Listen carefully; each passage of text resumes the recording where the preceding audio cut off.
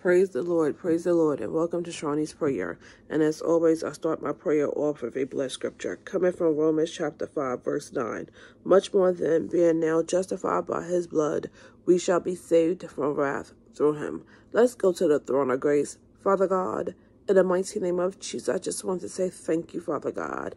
Thank you for waking us up this morning, oh God. Thank you for extending your grace and your mercy unto us. Thank you for breathing your breath of life into us. Thank you for allowing our hearts to beat one more time. Thank you for allowing our blood to run warm through our veins, oh God. In the name of Jesus, Father God. Thank you for mobility, Father God. In the name of Jesus, Father God. Lord God, I just want to come to say thank you, Father God. And I just come and ask you, Father God, that you will cover each and every last one of us on today. Protect us, Father God, in the name of Jesus, Father God. Keep us from accidents and incidents, Father God. Keep us from mistakes and mishaps, oh God, in the name of Jesus, Lord God. Allow each person to return home on today, Father God, in the name of Jesus.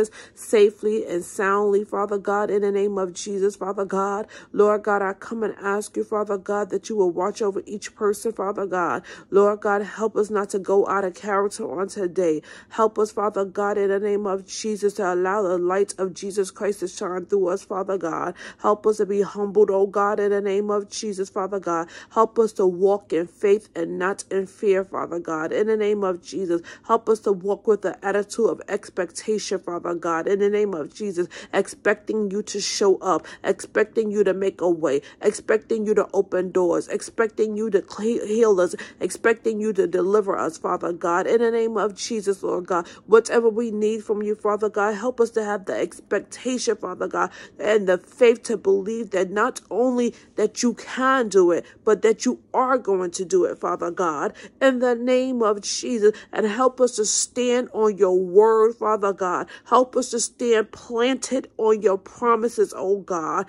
In the name of Jesus, help us to get in your word so we can know your promises, Father God, so that we can be firmly planted, oh God. In the name of Jesus, Father God. And regardless of what we may have to deal with on today, Father God, help us to deal with it with the right attitude, Father God. In the name of Jesus, help us to deal with it in the right way, Father God.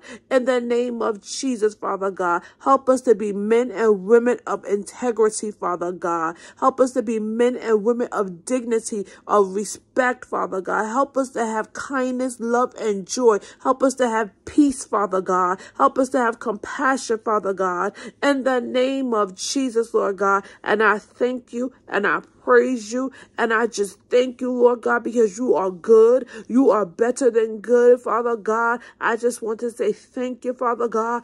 Thank you, Father God. Thank you for always just showing up for us, Father God. Thank you for showing up for us when we don't show up for ourselves. And I just want to say thank you, thank you, and thank you. In the name of Jesus Christ of Nazareth, I pray. Amen and amen. God bless you and God bless you.